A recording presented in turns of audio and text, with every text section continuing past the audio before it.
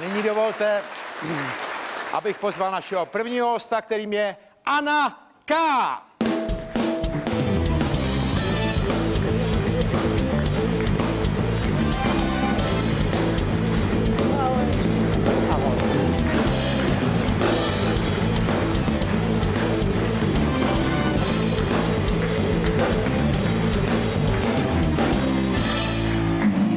Anna K., kterou obzvlášť rád vítám v naší show. Ahoj. Jak se cítíš? Ahoj. Skvěle, děkuju. To jsem rád, taky Dobrý výborně večer. vypadáš, což mě dvakrát těší. Děkuji. A ty máš teďko vlastně těsně před začátkem, myslím, že to bude 25. nebo kdy?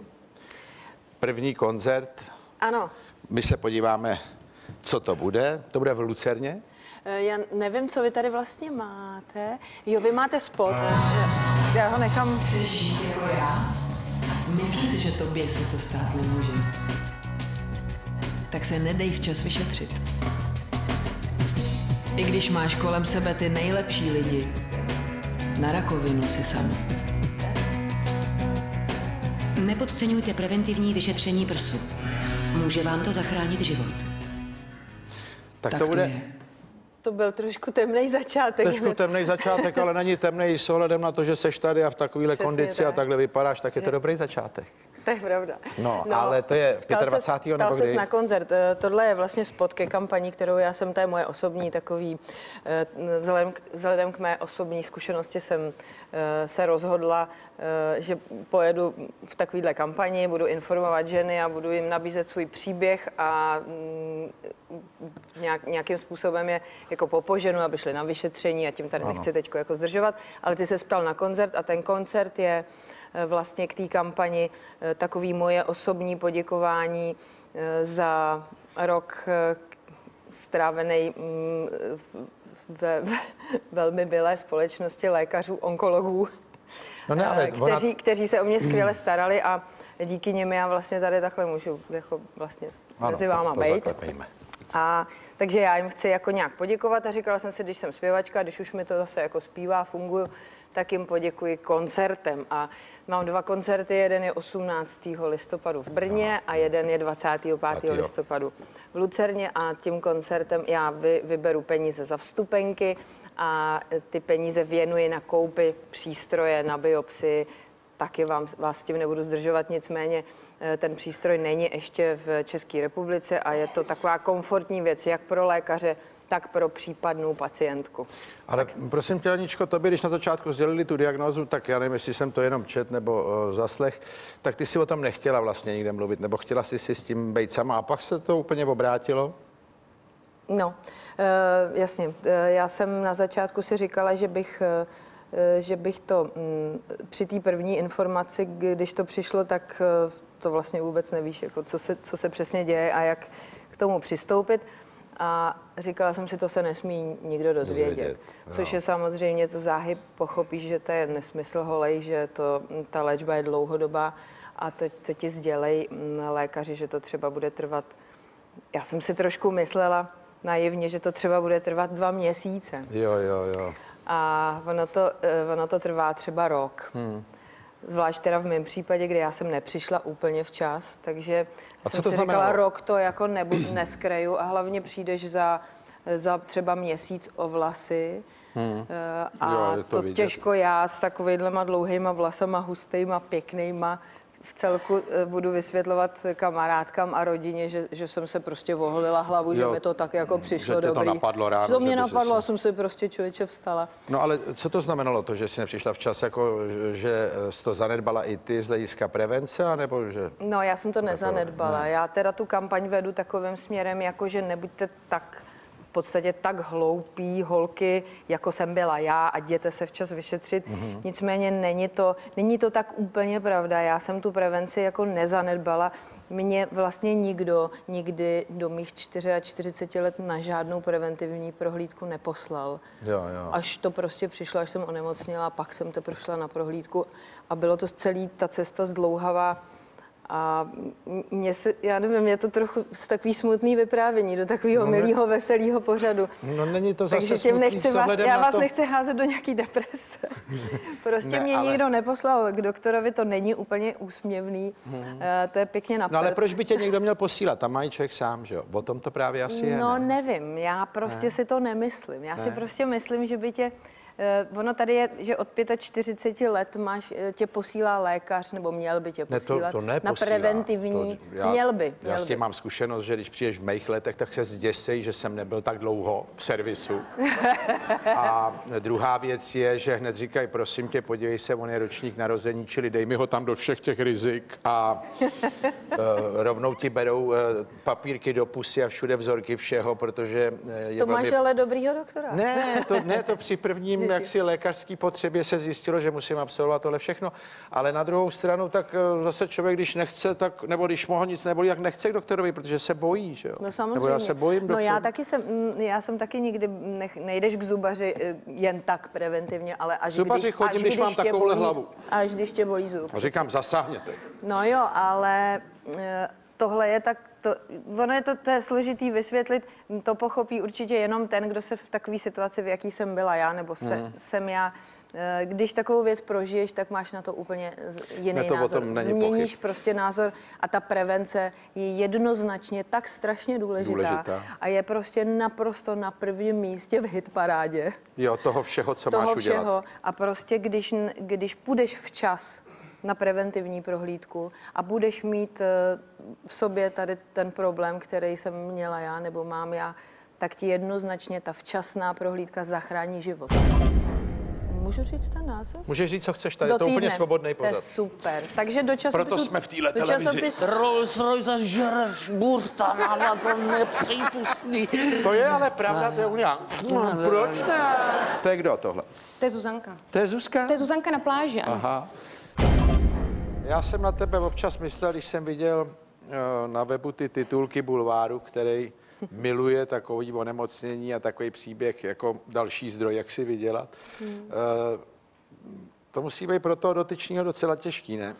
když oni v tom jsou poměrně bezostyšní. Bezostyšný, no. Jo?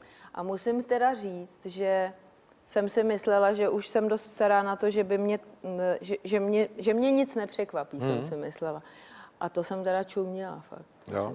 A čím tě překvapovali? Eh, Teď jsem mluvila s kamarádem, dělala jsem eh, kvůli těm mým koncertům, abych se to trošičku jako zveřejnilo, že když přece jenom dělám velkou lucernu, aby tam někdo přišel. No ne, to jo, udělá velkou lucernu, obdivuju, jenom- jenom ale prý to kamarádka. vypadá moc dobře. No, tak snad jo, snad to bude dobrý. No, eh, kamarád, eh, novinář, s kterým jsem dělala do hospodářských novin nějaký jako rozhovor a on si dělal nějakou, jak se tomu říká, Eh, ten ví, nějaký výcuc. Rešerši. Rešerš, tak, to si dělal. A um, já jsem poskytla za tu dobu nemoci tři rozhovory za ten rok. Ano.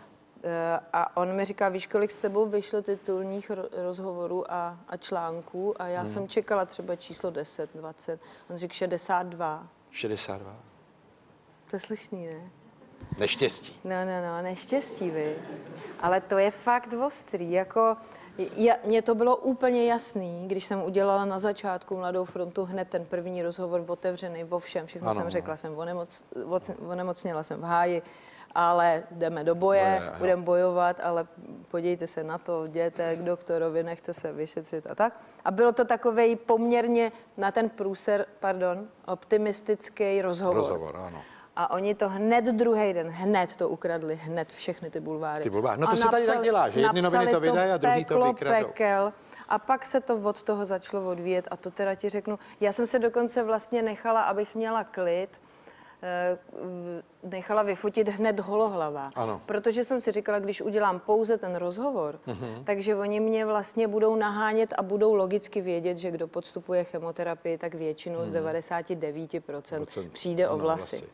Tak jsem si říkala, to pro ně bude jako soustíčko, takže, pastva. takže mě budou nahánět. A když se vyfotím holohlava rovnou, tak mě dají pokoj, Pokoj. protože to už nebude úlovek. Jo, nebude To co jsem se ale zmí, zmílila. Jak to? to jsem se Lovili jste zmílila.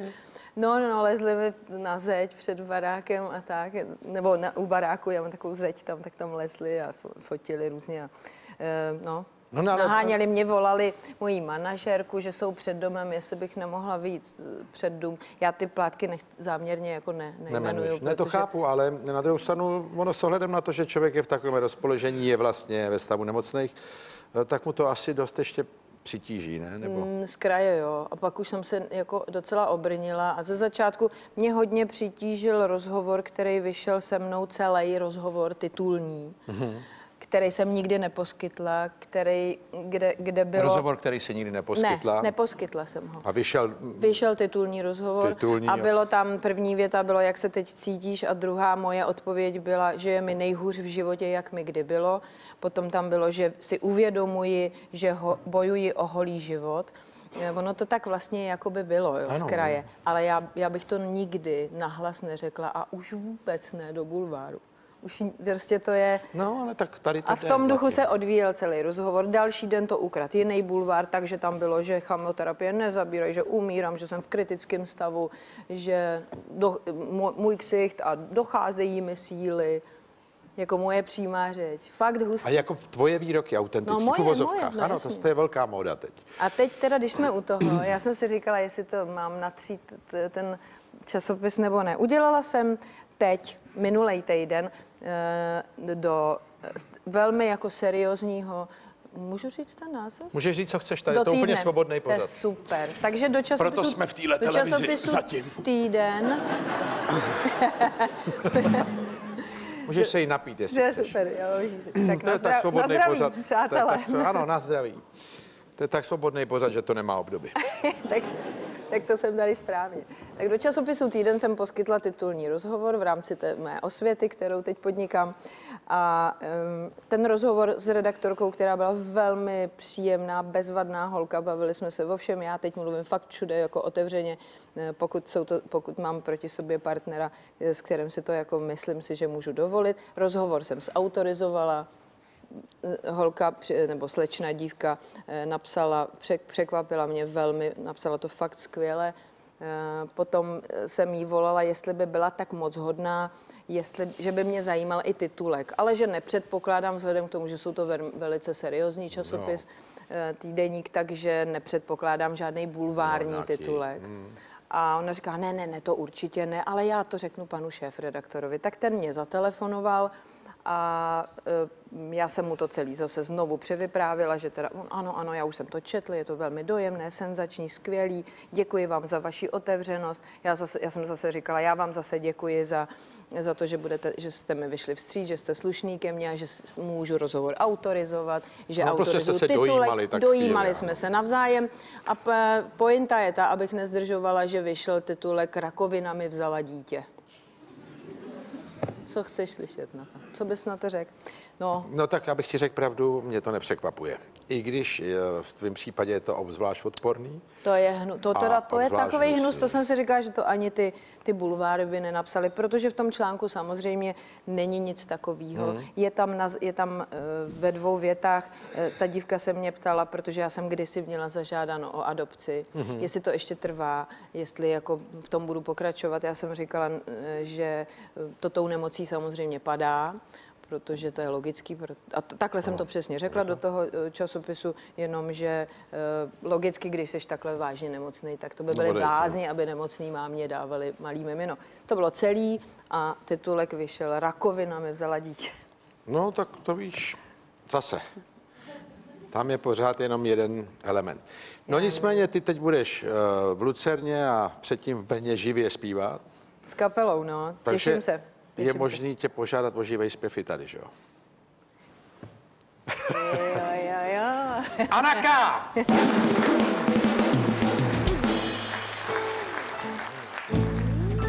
Je nebezpečné dotýkat se hvězd Na zem spadlý Na zem spadlý z nebe Je nebezpečné dotýkat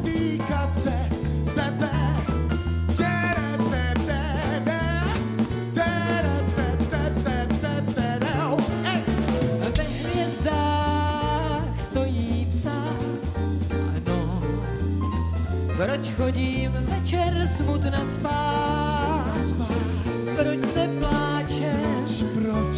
Budím rád. Budím ráno. A proč mě nemá nikdo rád?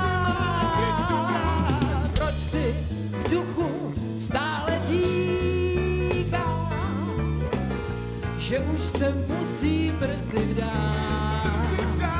A proč se v noci